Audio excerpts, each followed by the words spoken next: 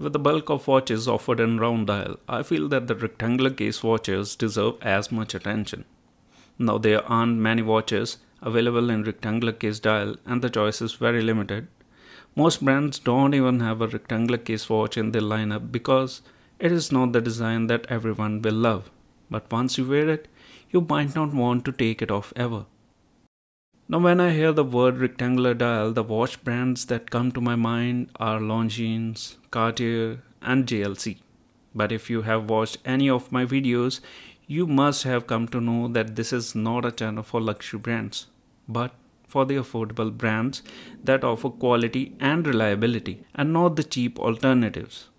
According to the official Titan India website, this model is no longer available. Well, I'm just using this model to make my point. In this video, I'm using a classic dress watch by an Indian brand Titan to represent the affordable segment of rectangular case watches. I purchased this particular model in the year 2016 for about 4000 rupees after all the promos and offers.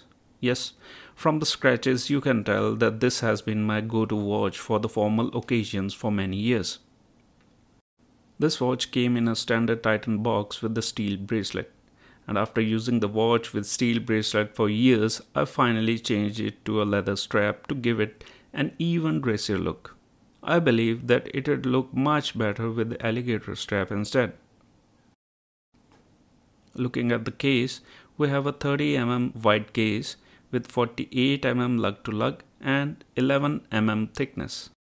While the snap-on case back is flat, the case itself has a nice downward profile with downward sloping lugs, giving a very pleasant wearability. It came with a polished case but with a little DIY. I made it look brushed. I also have some other modifications in my mind. The golden colored crown at 3 o'clock position has become a bit hard to rotate since it is a dress watch hence we have only 50 meters of water resistance. Coming to the dial, it has an off-white dial with golden hands and golden markings.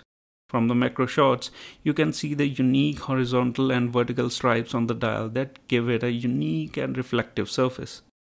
The 12 and 6 hour markers are in Roman numerals. It has a white colored date window.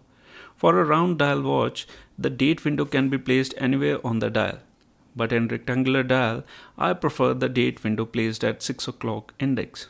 I don't know, but it just looks symmetrical. The lume is absent from the dial which is common for dress watches. Overall, it is an elegant watch which does look like a Longines Dolce Vita, but it has its own characteristics. And that is all we have here today. Now, if you like the dial shape and would like to get one, do the research and try it out. Since the particular model is no longer available, if you are buying it online, make sure to read the return policy just in case. Alright everyone, thanks for watching and whether you liked or disliked the video, leave a comment and subscribe. It really does help the channel. Signing off for now, be well and see you soon.